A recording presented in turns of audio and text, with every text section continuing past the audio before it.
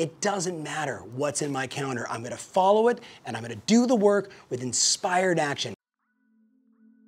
No one cares that you're tired. Man, does that suck. But no one cares that you're tired. I'm looking at my calendar and literally going through week after week, and this week in particular, where I am just packed every single minute of the day. And you know what? No one cares that I'm tired. I'm the one that scheduled it. I'm the one that set the goals. I'm the one that designed it. So you know what I've decided? It doesn't matter what's in my calendar. I'm gonna follow it and I'm gonna do the work with inspired action. Because you know what? I learned a long time ago, every phone call matters.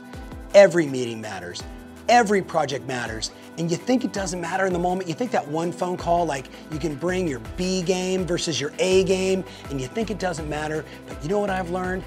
When I was 19 years old, I cold called a guy named Gino Blefari. And at that point, he was a real estate professional in Northern California, and I was a budding young sales guy. And I sold him a ticket to an event, and guess what?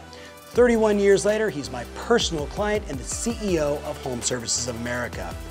Every phone call matters. If you are smart enough to put it in your schedule, be smart enough to execute on it, and do it with passion, with the foresight and the inspiration to deliver value to every single person and every project you work on.